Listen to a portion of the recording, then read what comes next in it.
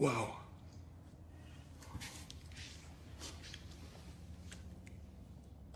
The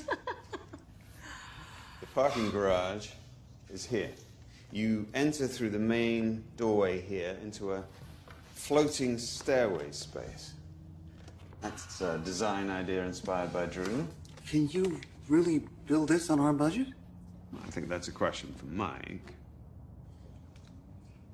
I have no idea what this is. Um, what's the skin? Titanium, of course. Titanium. Yes. A magnificent metal. Noble, mysterious, vital. Just as Cronus, the first of the Titans, who ruled over the earth, the heavens, and the sea. Do you know a supplier? Of course. End us up? Yes, yes. Let me walk you through the floor plan.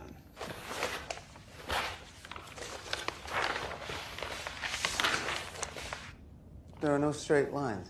Straight lines are a symptom of the new illiteracy.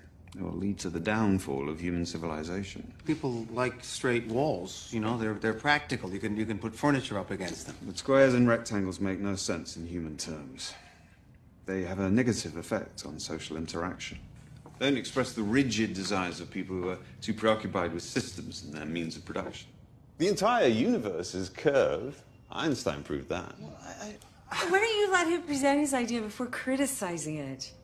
That's all right, Drew. I, I, I like clients to provide active and aggressive criticism as long as they have absolute faith in me. I find that the best work happens when everyone has an open mind. Remember, you're paying for my talent and experience. You're wasting money if you don't listen to my ideas.